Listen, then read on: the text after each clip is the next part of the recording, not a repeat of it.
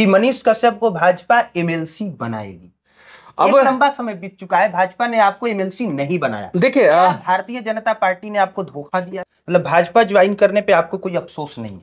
देखिए मुझे आ, मैं हाथ जोड़ के विनती करना चाहता हूँ माफ़ी मांगना चाहता हूँ और वादा करता हूँ कि पहले से ज़्यादा मज़बूत मनीष कश्यप आप लोगों को देखने को मिले कि मनीष कश्यप बिक गया।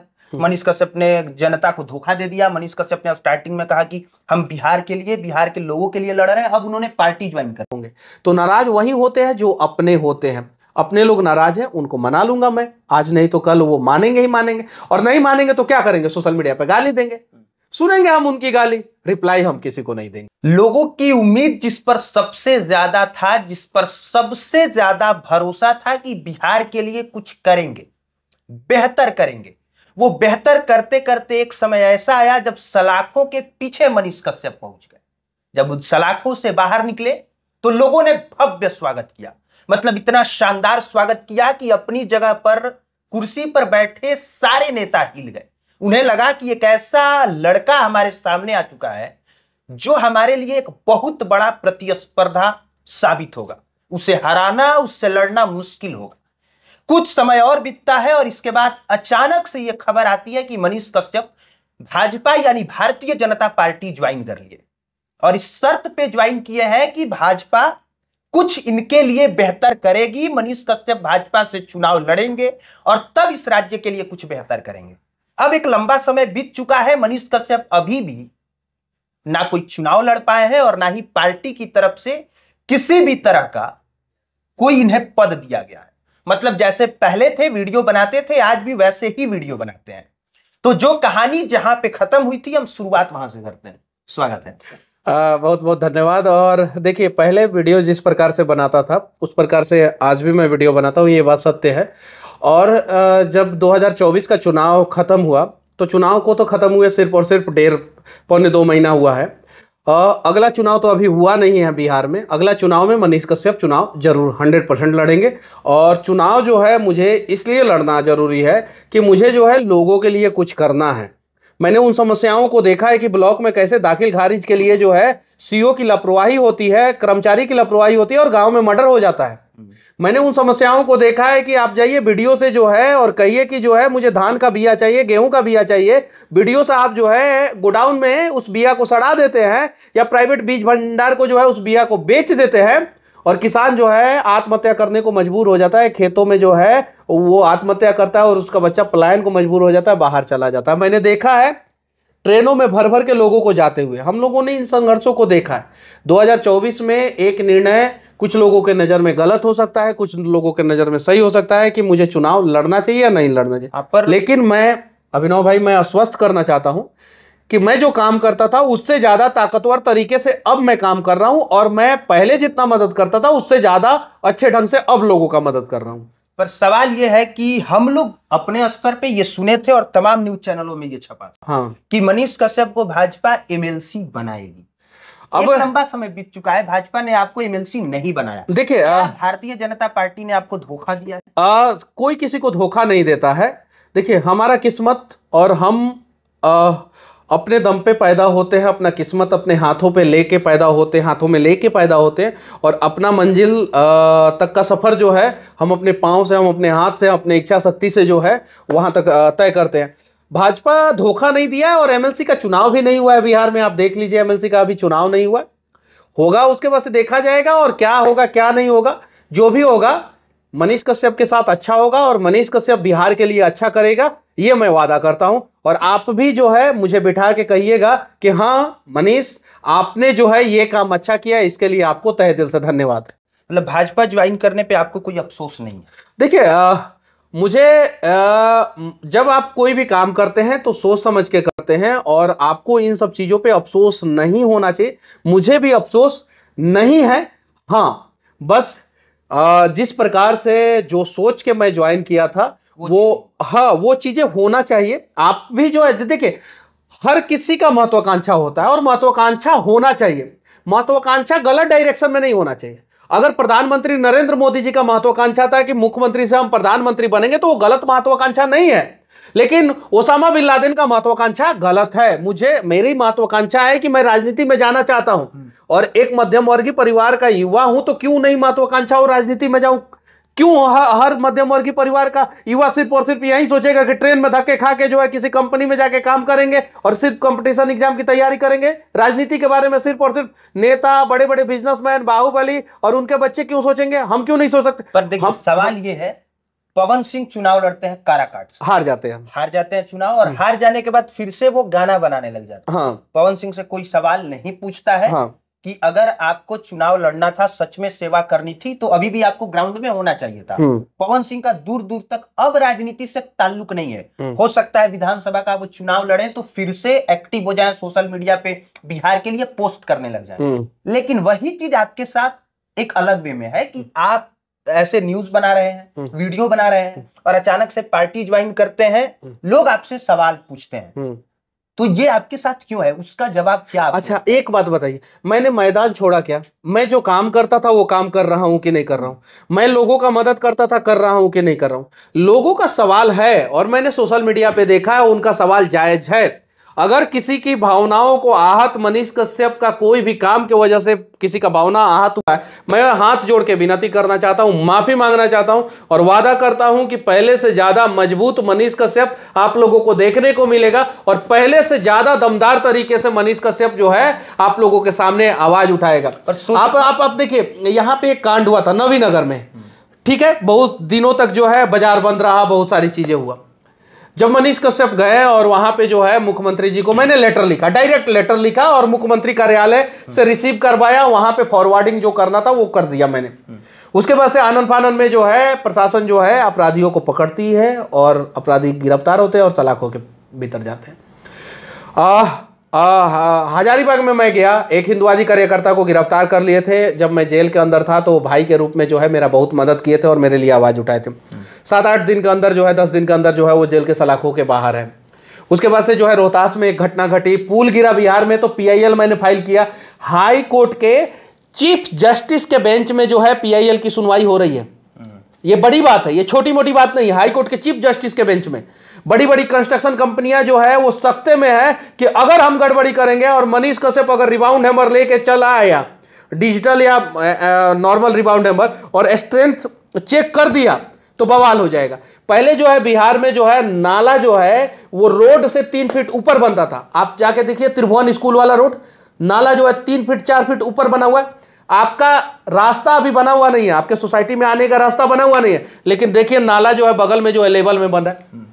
पॉजिटिव तरीके से काम कीजिए, कुछ लोग नाराज़ होंगे। आप मेरे से बहुत ज़्यादा उम्मीद लगा लीजिए अभिनव भाई, और मैं आपके उम्मीद 99 परसेंट उम्मीद पे खड़ा खड़ा उतरूं। एक परसेंट उम्मीद पे खड़ा नहीं उतरूँगा तो आप जो है नाराज़ होंगे। तो नाराज़ वही होते हैं जो अपने होते हैं। अपने लोग नाराज़ हैं, उनको मना लूँगा मैं। आज नहीं तो कल वो मानेंगे ही मानेंगे। और नहीं मानेंगे तो क्या करेंगे? सोशल मीडिया पर गाली देंगे। सुनेंगे हम उनकी गाली रिप्लाई हम किसी को नहीं देंगे और अपना काम करते रहेंगे लेकिन ये चीज़ समझना पड़ेगा कि पवन सिंह का कद आपसे भी बड़ा है मतलब पवन सिंह के लिए जब वो खड़े होंगे तो भीड़ बहुत ज़्यादा हम्म। तादाद में आएगी हम्म। पर पवन सिंह से सवाल नहीं है पर सवाल आपसे है हम्म। और बहुत बहुत तरह के लोग बहुत बातें भी लिख रहे हैं एक तो ये भी लोग लिख रहे हैं कि मनीष कश्यप बिक गया मनीष कश्यप ने जनता को धोखा दे दिया। मनीष कश्यप ने स्टार्टिंग में कहा कि हम बिहार के लिए बिहार के लोगों के लिए लड़ रहे हैं। अब उन्होंने पार्टी ज्वाइन कर लिया तो यही मैं आपको आपको ही खुद से मैं सोचने को बोल रहा हूँ कि ऐसा क्यों है कि पवन सिंह से वो सवाल ना हो आपसे हो रहा है। मेरे, अगर, मेरे अगर, से लोगों को उम्मीद अगर, अगर बीच में पवन सिंह ज्वाइन कर लेते भाजपा, पवन सिंह को फिर भी कोई गाली नहीं देता। वो बैठ भी जाते तो भी कोई गाली नहीं देता। देखिए, मेरे से लोगों को उम्मीद है, गरीब लोगों को उम्मीद है मध्यम वर्गीय लोगों को उम्मीद है, और उन लोगों को ये उम्मीद था, सच कहूँ तो कि 2024 में मनीषवा अगर सांसद बन जाए ना तो हमने के दुख और दर्द दूर कर दी।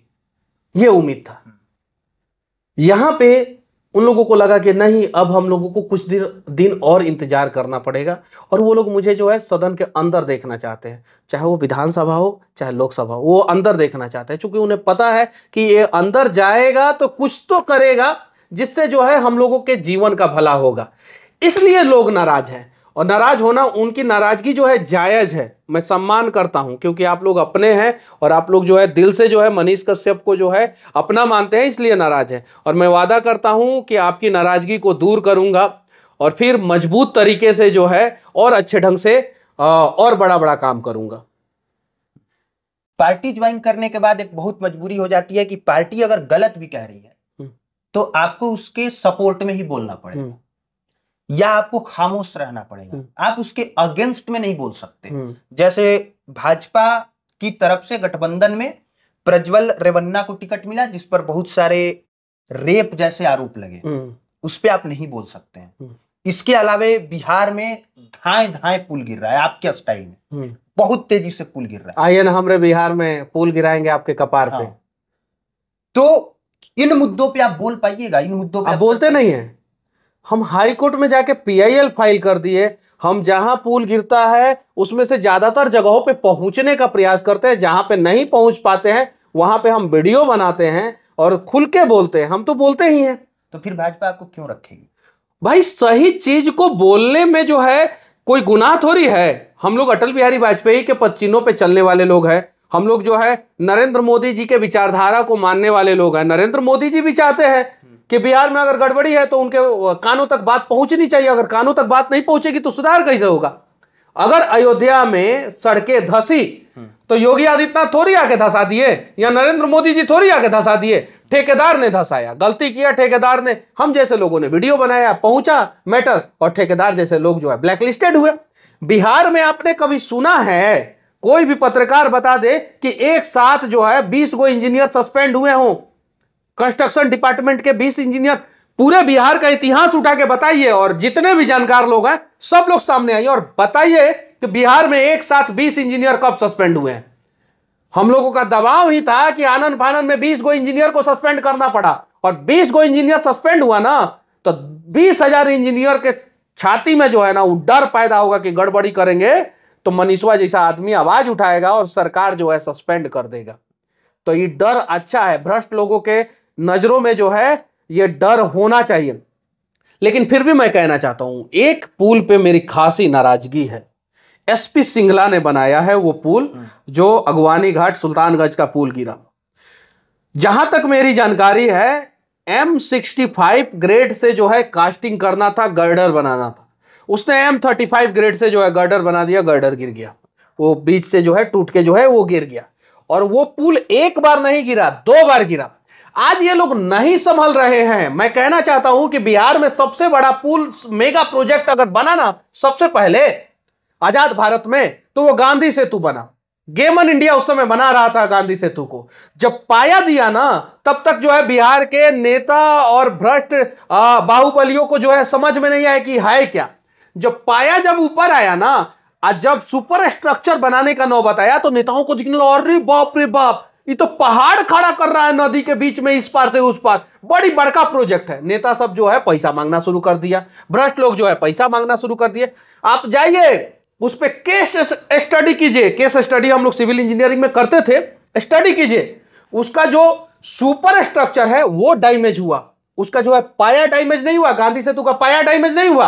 पाया आज भी मज़बूत है और एफकॉन ने दोबारा ठेका लेके जो है, जो गांधी सेतु उन्नीस में बना था 100 साल तक के लिए 100 साल, यानी दो हज़ार तिरासी तक टिकना था। वो गांधी सेतु जिस दिन उसका उद्घाटन हुआ, उसी समय से सुपर स्ट्रक्चर डैमेज हो गया और उसका जहाँ जहाँ पे ज्वाइंट था, वहाँ वहाँ पे एक्सपेंशन ज्वाइंट पे जो है, जो स्प्रिंग सिस्टम होता है, जहाँ पे जो है हम लोग जो है एक्सपेंशन ज्वाइंट इसलिए देते कि इजिली रिपेयर हो। वहाँ पे जो है, वो ज़्यादा ऊपर नीचे करने लगा। अब ये सारी चीज़ें हैं और यही सारी चीज़ें जो है, वो अगवानी घाट सुल्तानगंज पुल पे हो रहा है। बड़ा पुल है सत्रह सौ करोड़ का पुल है लेकिन कोई कार्रवाई नहीं उस ठेकेदार पे हुआ। जो सहरसा सुपौल में पुल गिरा सुपौल या सहरसा में पुल गिरा एक बड़ा पुल गिरा उस पर कोई कार्रवाई नहीं हुई। पर भ्रष्टाचार ऊपर से होता है कि नीचे भ्रष्टाचार कभी भी ऊपर से होता है। एक कंफ्यूजन में लोग रहता है कि भ्रष्टाचार नीचे से होता है। भ्रष्टाचार ऊपर से होता है कर्मचारी नीचे से सस्पेंड होते हैं। दोषी सीएम है। पहला दोषी ऊपर का पूरा सिस्टम इकोसिस्टम एक आदमी को नहीं कह सकते, इसको इकोसिस्टम आपने कुछ दिन पहले जो है ट्विटर पे एक ट्रेंड देखा होगा इकोसिस्टम है इकोसिस्टम है, जो राइट विंग राष्ट्रवादी को ट्रोल करता है लोग इकोसिस्टम वही बिहार का एक इकोसिस्टम है। उस इकोसिस्टम में हर पार्टी का इंजन लगा हुआ है। इंजन के साथ साथ पीछे डब्बा और खाली डब्बा, जितना इंजनवा जो है भ्रष्टाचार करेगा, सब खाली डब्बा में भरा जाएगा। वो पूरा इकोसिस्टम है और पूरा इकोसिस्टम को इंजीनियर सस्पेंड हुआ। भाई, इंजीनियर का सस्पेंड हुआ? नहीं होना चाहिए था। अठे मंत्री जी कहा नहीं सस्पेंड हुए हैं। कौन करेगा सचिव का नहीं सस्पेंड हुए हैं। करेगा उनको सस्पेंड वही इकोसिस्टम वही इकोसिस्टम का जो बॉस है जो सरदार है वो सस्पेंड करेगा। लेकिन इकोसिस्टम का जो सरदार है उसे ना कुछ दिखाई देता है ना सुनाई देता है। जो बस सरदार है उसको पता ही है कि इस तरह से घोटाला हो रहा है वो क्यों ही करेगा? अरे भाई उसको कुर्सी से मतलब है। वही तो हम भी हैं। बस और उसके कुर्सी का चारों पाया जो है ना वो भ्रष्टाचार के न्यू पे टिका हुआ है। मतलब बिहार का कुछ हो नहीं सकता। साढ़े बीस किलोमीटर लंबा पुल, तीन हज़ार तीन सौ करोड़ का जेपी पथ जो बना है ना, जिसको पटना मरीन ड्राइव कहते हैं, तीन हज़ार तीन सौ करोड़ का है वो प्रोजेक्ट। साढ़े बीस किलोमीटर लंबा और ग्यारह साल में कंप्लीट नहीं हो पाया, साढ़े पंद्रह किलोमीटर बना है और नीतीश कुमार जी इंजीनियर का जाके पैर पकड़ रहे हैं। पैर का पकड़ रहे हैं इंजीनियर का? धोबला झाड़ दीजिए इंजीनियर का, सस्पेंड कीजिए सीधे। और नीचे से ऊपर तक सस्पेंड कीजिए। लेकिन इसमें क्या होता है पता है? आज प्रोजेक्ट पास होता है। प्रोजेक्ट को शुरू करना रहता है। आ, जैसे पास हो जाता है जैसे ठेकेदार को जो है काम मिल जाता है उसके बाद से प्रोजेक्ट को शुरू करना होता है। ठेकेदार किसी भी प्रकार का अड़चन लगा देता है किसी ज़मीन वाले से कह देता है कि जाओ जी भाई हाईकोर्ट में फ़ाइल कर दो। अब जो है वो हाईकोर्ट में फ़ाइल कर देता है। जैसे जैसे समय बीतता है वैसे वैसे कंस्ट्रक्शन कॉस्ट बढ़ जाएँगे। और बिहार के लोगों से कहना चाहता हूँ किसी भी पुल के नीचे अगर आप सफ़र कर रहे हैं तो अगर पैदल भी चल रहा है ना तो कम से कम एगो बुलेट प्रूफ साइबर ट्रक जो आया है ना टेस्ला का उस प्रकार का जो है सुरक्षा कवच लेके चले नहीं तो कब कौन पुल गिर जाएगा कोई गारंटी नहीं है। नहीं बोल रहा हूँ पार्टी में होने के बावजूद। वही मैं सुन रहा था। बोल रहा हूँ कि नहीं बोल रहा हूँ? भाई हमारा बिहार बर्बाद होगा। तो कोई नेता नहीं आएँगे। बर्बादी की कहानी अगर लिखी जाएगी ना तो उसमें हम लोगों का भी नाम लिखा जाएगा कि हम लोग भी खामोश थे। बोलना पड़ेगा किसी भी पार्टी में रहिए गलत हो बोलिए। अगर अच्छी पार्टी हो तो आपकी बातों को समझेगी एक्सेप्ट करेगी। नहीं तो निकाल दे में कोई फ़र्क नहीं पड़ता। अरे भाई भगवान पैदा किए हैं इस धरती पे भेजे हैं। ठीक है वो इस उम्मीद से भेजे हैं कि जिसको भेजे हैं वो इंसान के जंगल में जो है इंसाने बन के रहेगा इंसान के जंगल में जो है शैतान नहीं बनेगा। सब ठीक है अभी भी मतलब ठीक काम कर रहे हैं आप ठीक वीडियो बना रहे हैं। बीच में जो आपने भाजपा की बहुत ज़्यादा तारीफ़ क्या नहीं करेंगे? चुनाव के समय में एकदम बिल्कुल अपने पार्टी का करेंगे? क्यों नहीं? हमारा धर्म बनता है। एकदम चुनाव के समय में एकदम करेंगे। चुनाव खत्म होने के बाद चुनाव के बाद अगर गलत होगा तो हम सवाल भी करेंगे और सही होगा तो हम चीज़ों को दिखाएँगे। एकदम मेरा धर्म बनता है। जहाँ है जब ज़रूरत पड़े तो हम तन मन धन से उसके साथ हैं। एकदम। तन मन धन से। फिर वही बात आ जाती है ना फिर सुधार कैसे होगा? सुधार कैसे होगा? सवाल किया जाएगा। सुधार कैसे? मैंने नाला का एग्ज़ाम्पल दिया ना कि मनीष कश्यप चिल्ला चिल्ला के एक हज़ार वीडियो बनाया आज नाला सही बनने लगा कम से कम। मनीष कश्यप वीडियो बनाया आपके जैसे लोग वीडियो बनाए बीस गो इंजीनियर सस्पेंड हुआ। हुआ ना? हुआ कि नहीं हुआ? पर पुल अभी भी गिरेगा ही ना? पुल अभी भी गिरेगा। क्योंकि ऊपर वाला ही हाँ हर साख पे उल्लू बैठे हैं अंजाम बिहार का क्या होगा? तो सखवे को काट देना है अब।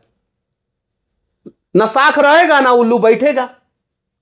और उल्लू बैठने वाला गाछे नहीं लगाना है बिहार में अब कि जिस पे उल्लू आके बैठे और बिहार को बर्बाद करे। ये प्रयास करना है हम लोगों को। मतलब नेता ही बदल जाना चाहिए। आपके कहने का ये मतलब? नहीं गलत नेता बदल जाना चाहिए।